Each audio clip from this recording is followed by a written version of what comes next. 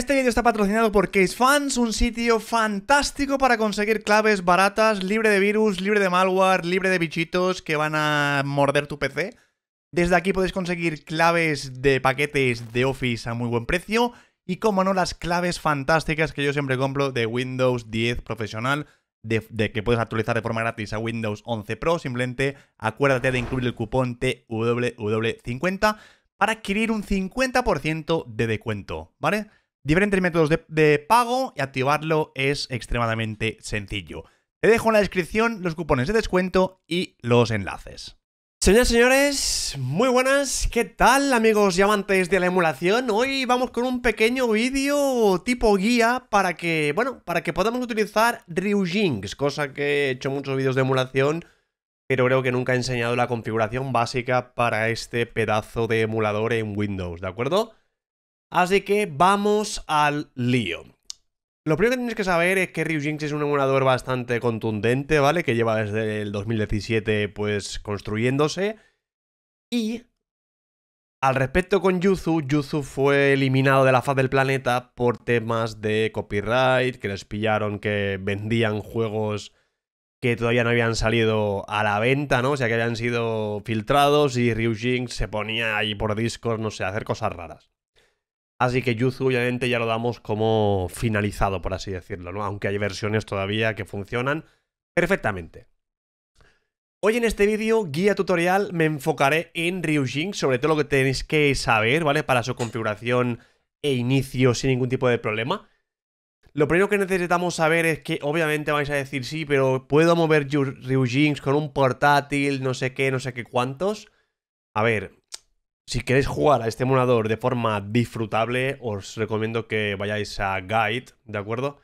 Y aquí en System Requirements, o sea, en los requisitos del sistema, pues que veáis lo mínimo que piden para que puedas jugar a este emulador. ¿Vale? Además, os recomiendan que las keys, que se necesitan una serie de keys para poder mover los juegos, o sea, lo suyo es que extraigas los keys, los keys, uy, como hablo, las keys con una consola, o sea, de tu propia consola. Obviamente la gente que no tiene ninguna Switch y emulan esto, pues las bajan de internet. Así que si sois inteligentes, pues ya sabéis dónde encontrar dichas keys.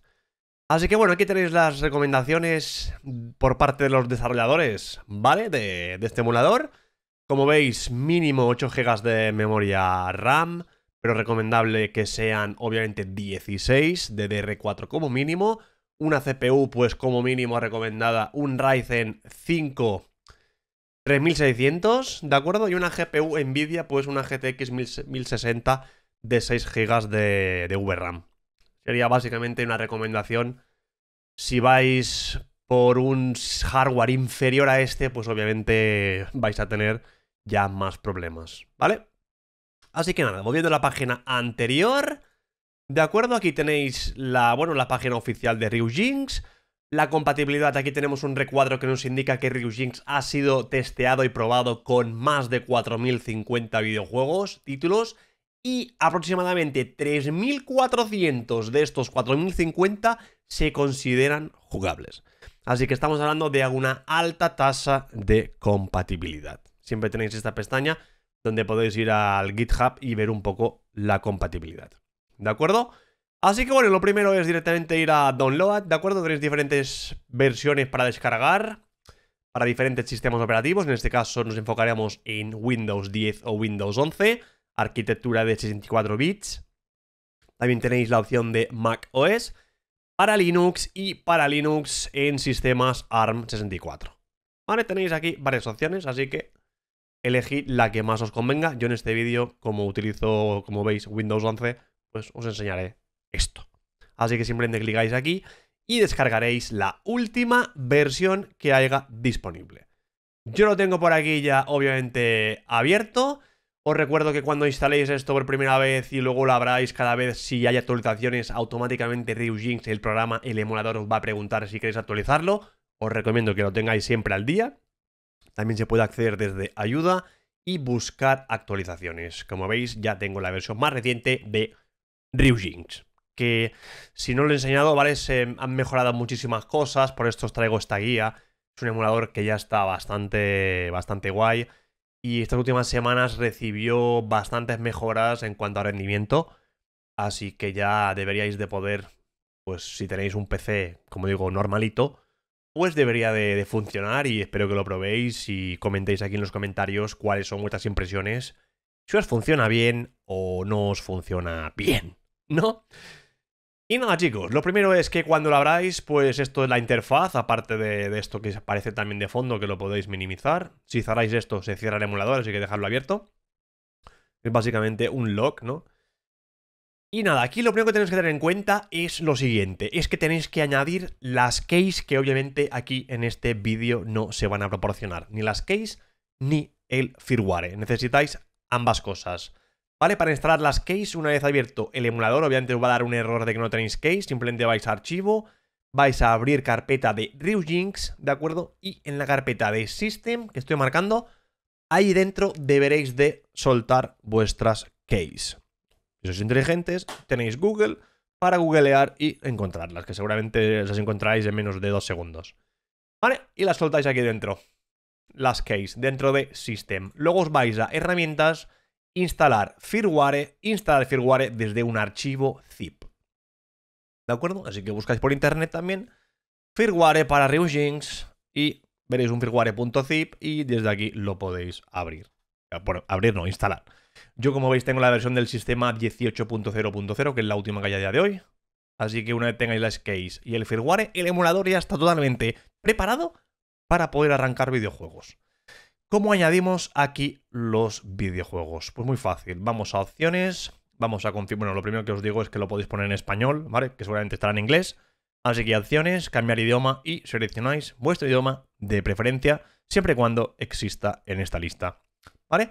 Después os vais a configuración y aquí en interfaz de usuario, la primera opción, pues aquí tenéis carpetas de videojuegos, así que tendréis que ubicar la carpeta donde tengáis los backups en este caso, por ejemplo, agregar, me iría a mi disco duro de juegos, marcaría la carpeta de Nintendo Switch y le daría seleccionar. ¿Vale? Aplicar, aceptar y automáticamente, como veis, me ha sacado todos los juegos. Y si vais añadiendo más juegos a esa carpeta, simplemente le dais a este botoncito de aquí y se va a actualizar la lista. ¿Vale?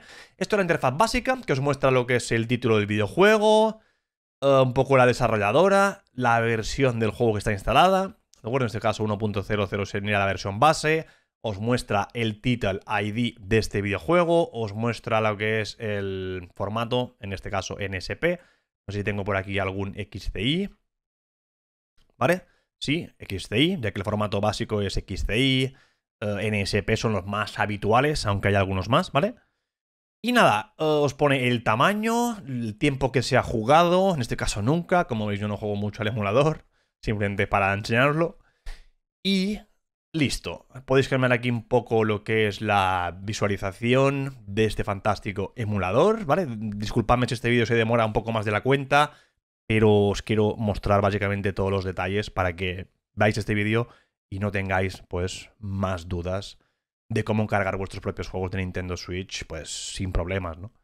En este vídeo obviamente no, voy a profundizar de cómo instalar cheats ni cosas raras, no, vamos a la guía básica de configuración del emulador Ryujinx para PC, en este caso Windows, ¿vale? Yo lo dejaré aquí en este caso, en esta versión de, bueno, que se ve en formato lista.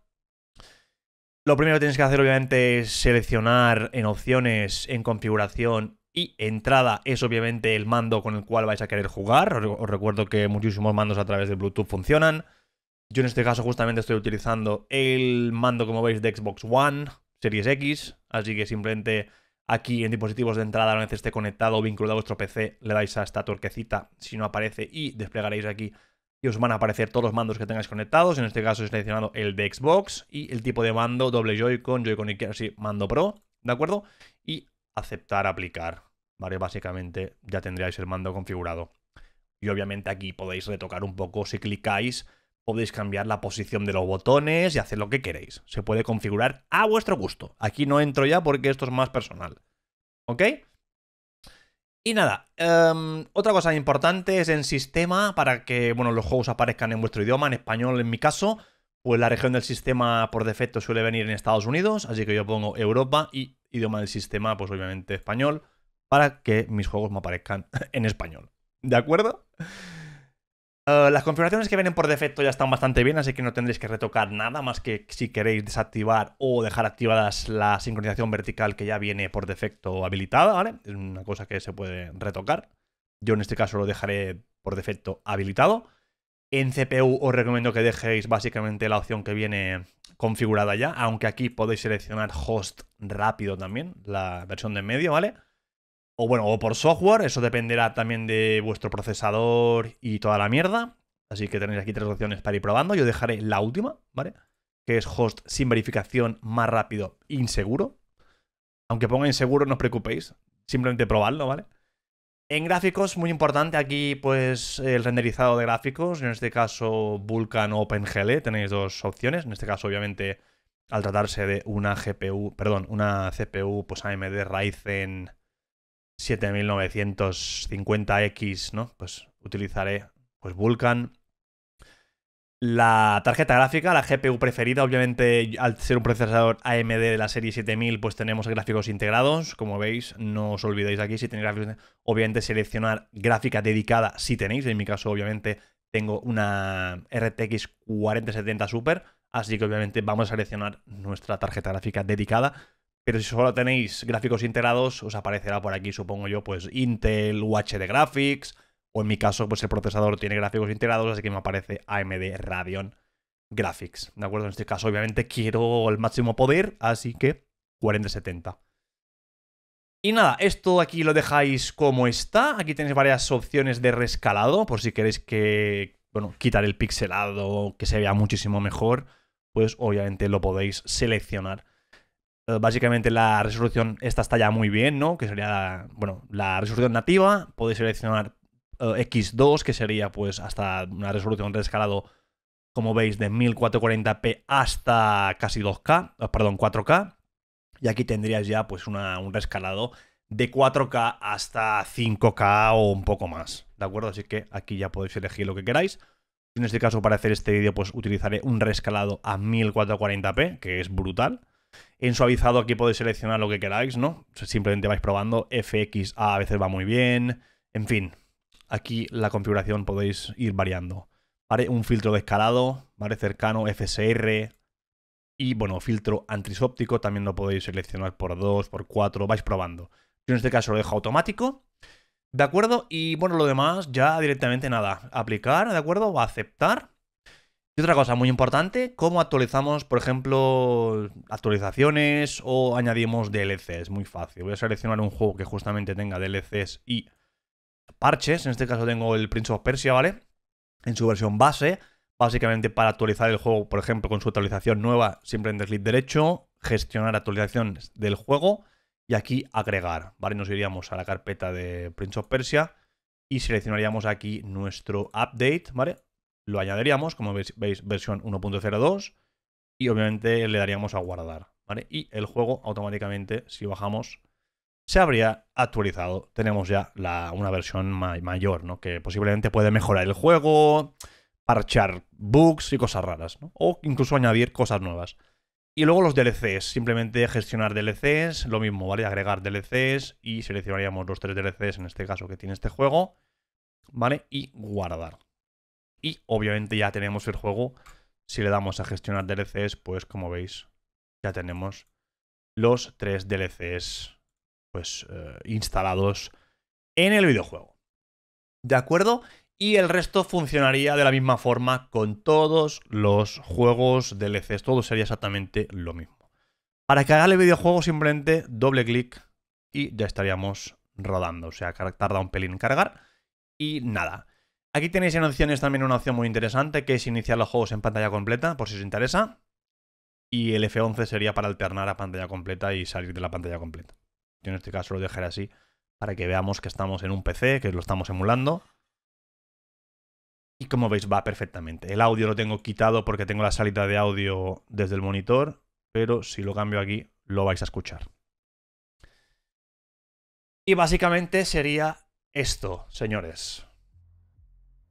El emulador funciona perfectamente, como veis aquí abajo nos da información que el VSync está habilitado, está en modo portátil o en modo dock, o sea, modo portátil se ve un poco peor. Casi no se nota, pero se ve un poco peor que el modo dock, obviamente. Tenemos aquí, como veis, podemos cambiar lo que es desde directamente un botoncito, lo que es em, la, bueno, la extensión de la pantalla, si queremos 4 tercios, 16 noveno, etcétera. El volumen también se puede bajar desde aquí. Ahí vemos los FPS del videojuego en todo momento. Eh, bueno, la GPU que estamos utilizando y los gráficos, bueno, en Vulkan. Y listo, chicos. Ya tendríamos aquí, como veis, podemos seleccionar cualquier cosa. Siguiente. Y ya podríamos estar jugando con nuestro juego, chicos. Nueva partida. Guerrero. Y la verdad es que este emulador funciona muy fresquito, ¿eh? Yo, si os tengo que recomendar emuladores ahora mismo de Nintendo Switch para PC, tíos, esto es una opción muy buena porque, a ver, está al día, está actualizándose, está mejorándose y es una opción bastante, bastante decente. Sabemos que a día de hoy pues tenemos Suyu, tenemos Sudachi, pero son, no sé, son como emuladores fake que salieron de, después de la muerte de Yuzu. No digo que sean malos, pero a ver, no es algo tan, no sé, bonito como, como esto, ¿no? Que esto es un emulador bastante propio, por así decirlo, y a mí personalmente me gusta muchísimo. A ver, omitimos esto para que veáis un poco el movimiento. Mirad cómo se ve, tíos, con un rescalado a, a 2K. Vale, ya se ve, se ve que flipáis. Y esto que es un juego que no es... O sea, gráficamente es... Pero, es una locura, eh. Chicos, es una locura cómo va este puto emulador. Así que nada chicos, si os ha gustado esta pequeña guía de cómo configurar Ryujinx en 2024 sin errores, sin problemas, de cómo actualizar los juegos, de cómo añadir DLCs y la configuración básica que funciona mejor si, obviamente tu computadora y tu hardware lo permiten. Si os gustó, pues compartid este vídeo, like, suscripción para futuros vídeos sobre este emulador, top de juegos para el emulador, etc. Y nada chicos, muchísimas gracias por ver y nos vemos como siempre aquí en el canal en próximos vídeos.